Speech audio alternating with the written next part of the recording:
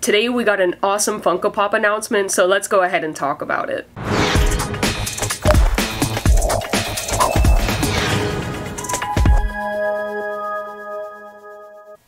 Hey guys, it's Jedi Lex and welcome back to my channel. So today was a big day for most, if not everyone, in the Star Wars Funko Pop community because we are finally getting another Captain Rex Funko Pop.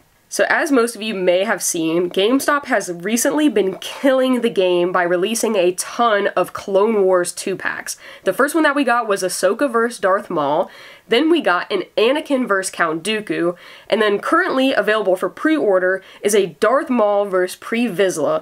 And as of this morning, Funko announced that they are going to be doing a Pong Krell and a Captain Rex 2-pack that is again exclusive to GameStop, and I am so excited. So now let's talk about the two individual pops that will be coming in this two-pack, starting with Pong Krell, who looks absolutely awesome. I absolutely love the pose on this guy, and he's even wielding two double-bladed lightsabers. I know Darth Maul has a double-bladed lightsaber, but he only has one, and now we're getting two, which I don't think we have on any Funko Pop currently.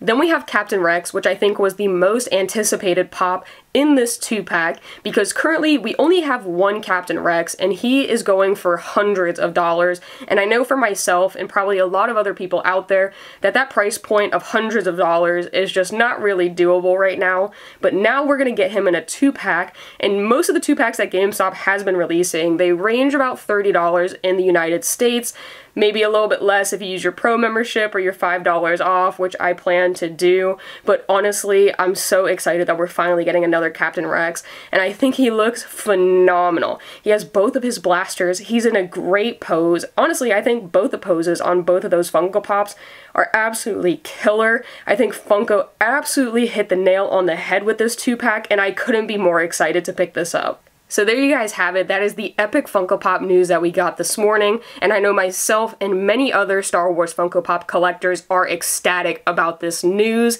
And honestly, let me know what you guys think of the two-pack. I think it's an absolute banger, but I know some people may have differing opinions, especially if they already do have a Captain Rex. So let me know what you think is going to happen to the price point on that one. And honestly, if you guys have any opinions about other two-packs you think GameStop might be releasing, because that is now going to be the fourth one that is a Clone Wars two-pack GameStop exclusive that is being released, and in my opinion, I think all four of them are straight bangers, but again, everyone has a different opinion, and I would love to hear from you guys, but as always, thank you for watching my channel, I'll see you guys next time.